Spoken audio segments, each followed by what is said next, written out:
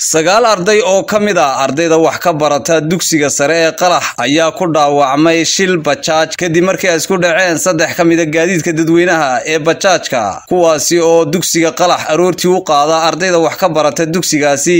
Khasaaraha dhaawaca ee ka dhashay shilkani ayaa lagu dabiibayaa cisbitaalka guud ee magaalada gabiley taliyaha ciidanka laanta nabadgelyada waddooyinka ee gobolka gabiley laba xidigle cabdirashiid cabdilaahi gadhle oo telefishinka c b a uga warbixiyey dhacdadani ayaa waxa uu fariin adag u diray dirawaliinta bajaajka iyo mulkiilayaasha gaadiidkaasi dadweynaha isagoo sheegay in ay xawaare aad u sarreeya ku dhex maraan gudaha magaalada gabiley abbaara sagaalkii subaxnimo waxaa ka dhacay shil shilkaasoo ay isku dhaceen saddex bijaaj saddexdaa bijaaj waxaana ku dhaawacmay arday ilaa sagaal meelahaasa oo ku dhaawacantay dhaawicii wuxuu yaallaa cusbatalka.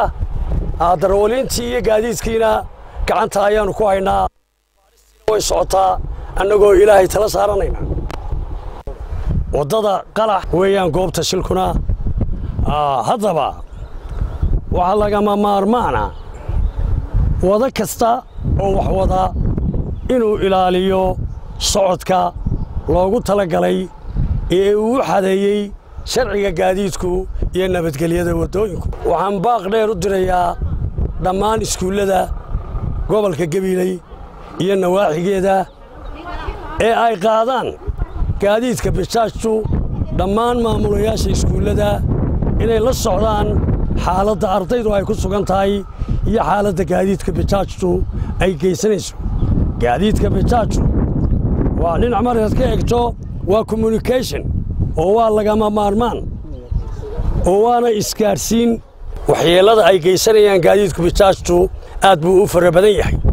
Waxaan digniin culus u diraynaa milkiilayaasha gaadiidka bijaajta inay u dhiibtaan gaadiidkooda cid hanan karta mas'uuliyadda ballaadhan ee ka saaran dadka ay qaadayaan iyo hantida ay wadaan.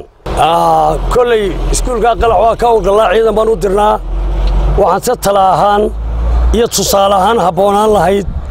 Annagoo la kaashan doonna wasaaradda waxbarashada iyo maamulka gobolka in hawshaa aanu wax badan inaan wax ka beddelno ayaannu insha allahu tacaala isku dayi doonnaa waxaana dadweynaha sharafta ee ka sare leh ixtiraam badanna aanu hayno kuwaasoo dadweynaha gobolka gebile aad noola shaqeeya inay nagala shaqeeyaan.